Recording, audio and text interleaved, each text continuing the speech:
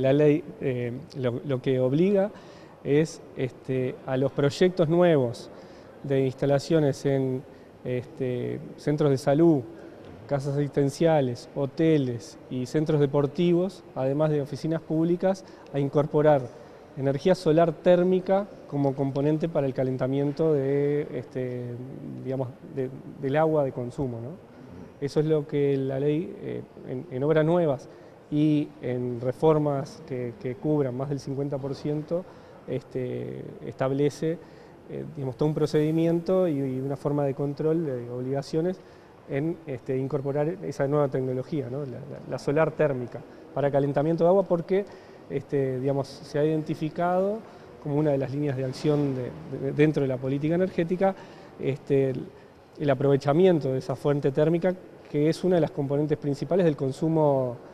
domiciliario y en particular de, estos, estos casos de, este, centros de salud, de este, hoteles y centros deportivos. ¿Qué beneficios va a tener eso justamente? En realidad el, beneficio lo da la rentabilidad, digamos, después de, los, de, estos proyectos, el incorporar una tecnología que es más eficiente y que reduce la tarifa eléctrica en definitiva, porque estamos sustituyendo energía eléctrica que tiene, bueno, complejidades y además este, una fuente, eh, digamos que muchas veces eh, tiene la necesidad de incorporar este,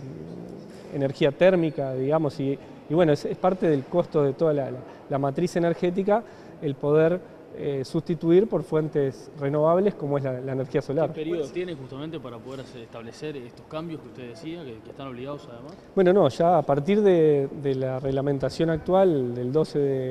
de, agosto, este, ya es obligatorio en los proyectos nuevos la presentación de, los proyectos y bueno, el, mecanismo es a través este, de una constancia en los permisos de construcción que se presenten que requiere la, autorización de URSEA de que ese proyecto eh, necesita y tiene el proyecto de acuerdo a las condiciones que establece la ley y eventualmente, digamos, está previsto también la posibilidad de que la URSEA habilite una excepción en caso de que no sea posible por razones de, espacio, de lugar, de sombra, bueno. ¿Cómo es el funcionamiento o el procedimiento de este nuevo sistema?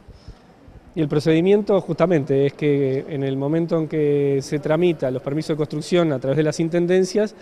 eh, las intendencias le van a exigir una autorización de URSEA que cumple o, la ley, digamos, o que entra dentro de las exoneraciones previstas del proyecto. Bien, ¿y cuál es el funcionamiento en sí? Y el funcionamiento es eh, incluir la tecnología, los paneles solares dentro de las instalaciones para el calentamiento de agua, digamos. Eh, es eso, es una tecnología que se viene desarrollando este, incluso con buena participación de industria local